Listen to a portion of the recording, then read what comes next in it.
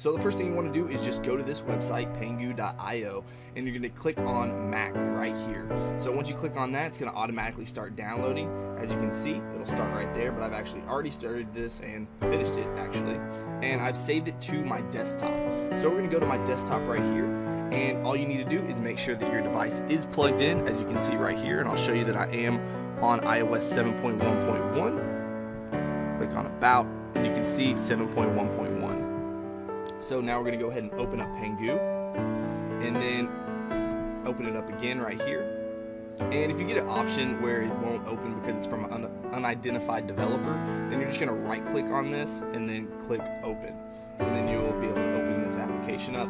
And you'll notice in this version that it's actually in English, which is pretty nice. They've also removed that third party software, as you can see right here. There's no checkbox for that, so you don't have to worry about that this time. So all you need to know is that this is plugged in and it's being recognized as you can see right here. So once it's plugged in, you're ready to go. Go ahead and click jailbreak.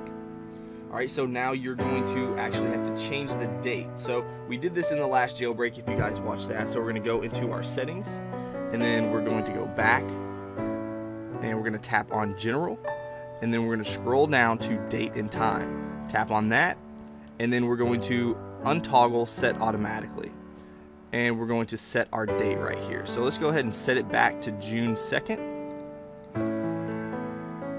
and then tap general again and it should automatically start. As you can see right here it's injecting bundles. So let it go ahead and do its thing. And when it pops up right here that says please tap the Pangu icon on your device to continue just make sure you go to your springboard here. We're going to swipe over and you'll notice a Pangu icon. We're going to tap on that and it says are you sure you want to open up this application Pangu from developer? Of course we do. Let's tap continue and it's going to automatically start as you can see right there so this is only going to take a few minutes, so go ahead and sit back, try not to touch your device, and let it do its thing. I'll go ahead and speed this up for you guys. Alright, so you can see that when it boots up for the very first time and it's actually jailbroken, you'll notice on the software on your Mac that it says this is already jailbroken. That's why you get that red text. So now we can just unlock our device, swipe over, open up Cydia, and you can see that it's going to start to prepare the file system. So this is what you have to do every time that you freshly jailbreak your new device. So we're going to prepare the file system and then we'll be good to go. Alright guys, so now we're booted up and Cydia should be prepared. So if we swipe over here and open that up,